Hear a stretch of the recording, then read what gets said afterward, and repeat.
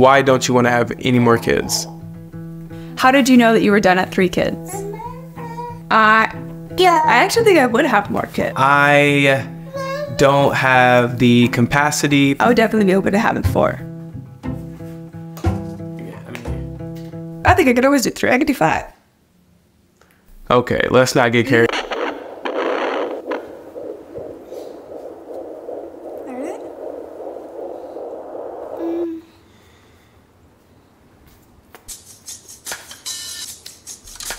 This is going to be our last baby. And here's why. All right, let's try to do it one more time together. This is the together. That's why. Do you want this last baby to be a boy or a girl? I would love for Jaylee to have a sister. I have four older sisters, so I really don't want another girl. have you found it more challenging to bond with one over the over the other? How has it been trying to travel and see family with the kids? So I think as they're young, we are traveling with a lot of items. It can be a lot. But as they get older, it'll just get more expensive because we'll be paying for like tickets for every single kid. I've always thought of myself in the future with our kids being super active with them, available, playing sports, being in the best shape of my life. And I want to be just physically there for my kids. Um, I didn't know that it was going to be a challenge for me to be mentally uh, or emotionally there. And so for me, I knew we were done or I'm good with just having three because I realized how much of an emotional toll or a mental toll it's taken on me for the two kids that we have. I don't have as much patience maybe as I thought. So like what challenges dealing with these two kids Yeah. get you to like I can actually do three. Oh, uh, like me wondering if I could do three? I think I could always do three. I could do five. Okay, let's not get carried. No, I actually think like I thrive as a mother. I'm humble as heck, but I do think that man, taking these kids, I take them out for the day. I've there's had there's been days where I've taken them to like the store and to Costco, got all the groceries, and then I'm taking them to like a doctor's appointment. Two, two babies in this stroller by myself. So if I could do two, I, I think I could do three or four easily.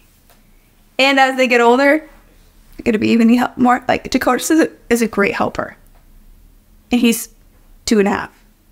So I don't think three will be a challenge. I think it'll be a challenge for Avery and I. We've never argued as much as we have until we had kids, and so like kids are challenging when it comes to like our marriage and putting our marriage first as a woman who is breastfeeding and pregnant and that that is a challenge There's probably going to be even more things that get on my nerves. Um, between like the the little, not even they're not arguments. I was going to say the little arguments, but they don't have arguments. It's just going to be like just taking stuff and not being able to communicate and this and that. That's going to be super annoying and not really feeling like we get a break. What are some of the things that you really you really want to cherish during this pregnancy?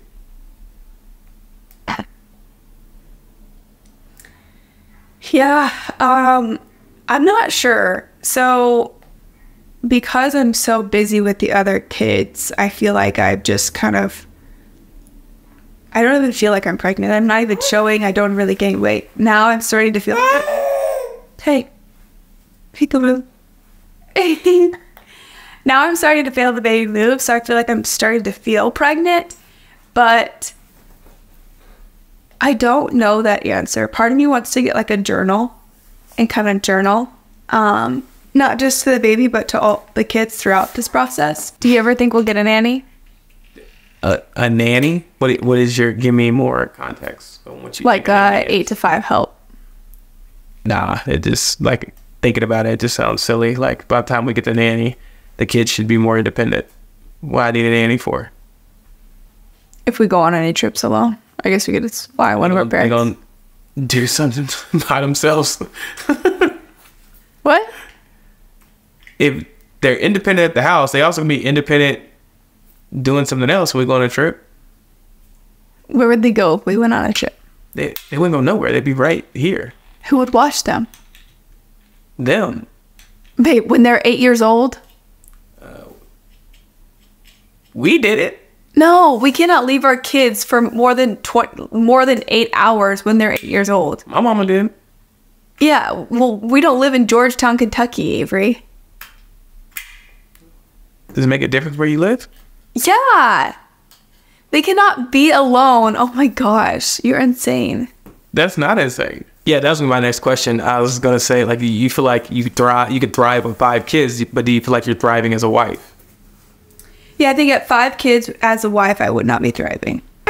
Um, oh, especially with the age gaps that we currently have. Um, I, I think that even now, I've told Avery this. There's areas that I feel like I am definitely, you know, I I couldn't belong better at.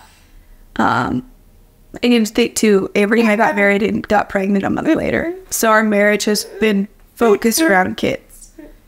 Um, and we haven't had a babysitter until Dakota's turned two. So that is also, you know, very, very difficult. Um, we don't live around family. We don't have access to our family like that. Our family would be more than willing to help, but they're thousands and thousands of miles away. So we are very grateful for our family, but we chose to live here.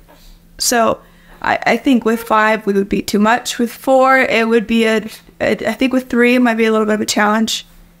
Um, but it, four would be too much of a challenge. Uh oh. Okay, cut the camera. You're controlling the camera. Okay, done. Sorry. Are you done? Are you done? Do you have anything more to tell people? Do you have any more to ask? No. I think I asked a lot of good questions. Mm.